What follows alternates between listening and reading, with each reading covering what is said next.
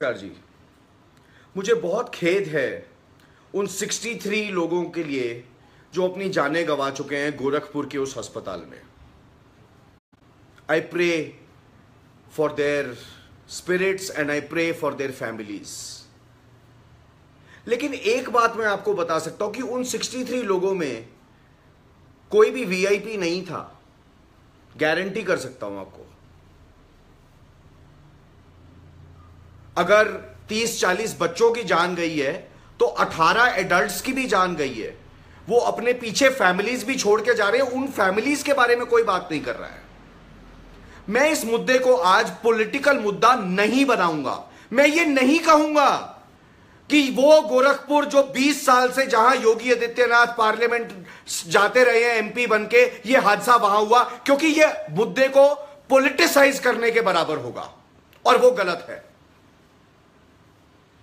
सारी opposition parties आज घेराव में है। योगी आदित्यनाथ जी रिजाइन करो। ठीक है, वो उनका काम है। मैं वो करूँगा जो मुझे सही लगता है।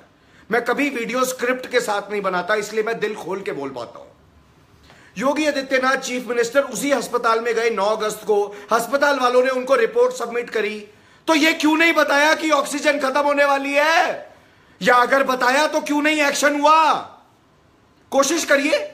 जरा दो मिनट के लिए अपनी नाक पकड़ के देखिए। देखिए, जब ऑक्सीजन नहीं मिलती तो कैसे तड़पते हो आप? हॉस्पिटल का स्टाफ क्यों नहीं तड़पा? मंत्री जी क्यों नहीं तड़पे? क्योंकि चलता है। यही होता ना भारत में। कहते हैं, ऑक्सीजन खत्म हो गई। फिर कहते हैं, वो जो लखनऊ की कंपनी है, उसके ऊपर रेट हो गई आज। क्यों भाई? दस लाख रुपए की क्रेडिट लिमिट थी, सिक्सटी एट लाख रुपीज़ किसी का अगर बिल हो गया तो क्या वो कंपनी चलाएगा या धर्मशाला चलाएगा? मेक इन इंडिया के नाम में। क्यों नहीं उस कंपनी का बिल दिया गया टाइम पे? आज क्यों रेट हुई उस कंपनी के ऊपर? क्योंकि मीडिया में मुद्दा उछल रहा है। जब भारत में, अगर सोचिए, गाली नहीं देता मैं अपने वीडियोस में और बहुत भक्त आते हैं या गाली, गालियाँ देते हुए अगर आज यहाँ 63 इंसानों की बजाय 63 गाय की मौत हो गई होती, गाय यानी गाय यानी मेल वाली गाय नहीं, गाय यानी गाय, ग, आ, य, गाय। तो पता है यहाँ कितने राइट्स हो गए होते इस देश में? लेकिन let's not take it there चलता है राइट ये भारतीयों का एटीट्यूड बन गया है। ये सरकारी महकमों का एटीट्यूड बन गया है। चलता है। ये सोचिए कि अगला कौन सा अस्पताल है जहाँ पे ये सब होने वाला है। वहाँ पे ऑडिट्स कराइए, क्या सीखा हमने गोरखपुर से? कौन से अगले अस्पताल में ये होने वाला है? क्यों अस्पताल वाले ऐसे उनके बच्चे नहीं ना मरते? आपके और मेरे बच्चे मरते हैं ना।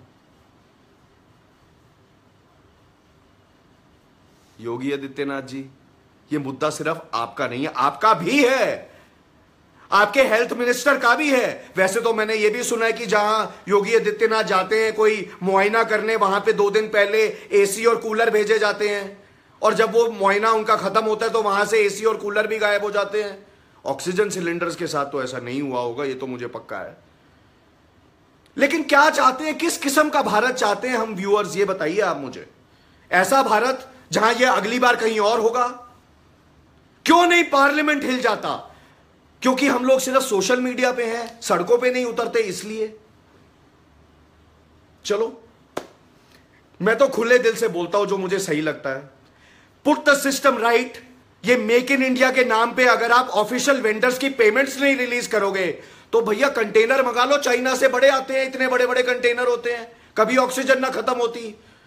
आज़ादी दिवस आने वाला है पंद्रह अगस्त को। पूरे सोशल मीडिया पे don't buy Chinese products don't buy Chinese products अरे तो सरकार इंपोर्ट बैन कर देना चाइना से अगर इतनी तकलीफ़ हो रही है। क्यों बाबा रामदेव सरकार से गुहार नहीं लगाते? उनकी एड आती है आजकल हर ऐप के नीचे। Don't buy Chinese products don't buy Chinese products सरकार को बोलो ना बाबा रामदेव कि चाइनीज़ प्रोडक्ट्स का इंपोर्ट ही बैन कर दो ना। ये छोटी छोटी एडवर्टीजमेंट करके तो सर नहीं चलेगा। दर्शकों, ये अब आपके ऊपर है कि ये वीडियो फेसबुक पे कितना सर्कुलेट होता है और कितनी जल्दी पार्लियामेंट में पहुँचता है। क्योंकि आपकी आवाज़ है, मेरी आवाज़ है, हमारी आवाज़ है और यही आम प्रेस की आवाज़ है। आपकी प्रेस मेरी प्रेस हमारी प्रेस यही है ना आम प्रेस आम लोगों की प्रेस क्यों नहीं बोलेंगे हम? ज़रूर बोलेंगे। भक्त आएँगे, यहाँ पे वो गालियाँ देंगे। मैंने तो पहले एक बार योगी आदित्यनाथ को रिक्वेस्ट भी किया था कि, सर, कुछ करो, आप इतने बड़े भारत के स्टेट के चीफ मिनिस्टर हो। बैड वर्ड्स बैन कराओ ना जरा सोशल मीडिया पे। पर आपने तो कोई जवाब नहीं आया, सर, आपकी तरफ़ से। मैंने तो प्रधानमंत्री के ऑफ़िस को भी टैग किया था। जब छोटी छोटी इश्यूज़ को एड्रेस नहीं किया जाता ना, तब 63 लोगों की एक झटके में मौत होती है। Now I leave it to the viewers अब आपकी मर्ज़ी कि आप इस वीडियो का क्या करना चाहते हैं। मैं तो अंदर से सड़ रहा हूँ आज। भून रहा हूँ आज। कि सत्तर साल की आज़ादी हो गई, लेकिन भारत में आज ऑक्सीजन नहीं मिलती अस्पतालों में। फिर हम कहेंगे, मेरा भारत महान। अगर भारत को इससे भी ज़्यादा महान बनाना है तो मेहनत करनी होगी। ऑडिट्स करने होंगे हॉस्पिटल्स के। सच बोलना होगा। और वो सच बोलते हुए, शायद वो सच रिपोर्टों में ना रह जाए। उनको जनता तक लेके जाना होगा।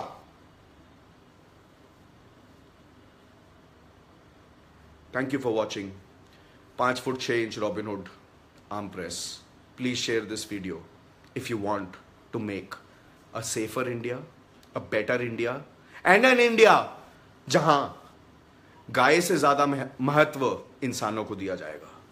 जय हिंद। रॉबिनहुड